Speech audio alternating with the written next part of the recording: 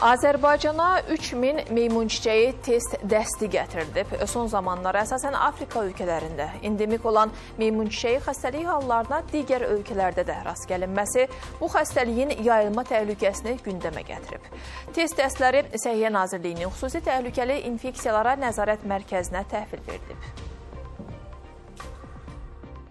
Şübhə yaranarsa meymun çiçəyinə belə xəstələrdən e, xəstəliyin diaqnostikası üçün test götürüləcək. Səpkidən sonra möhtəviyyət olan bir suluğa çevrilir və həmin o yaradan e, yaxmalar götürülür və müayinə olunur. PCR üsulu ilə həmin gün cavabını vermək mümkündür.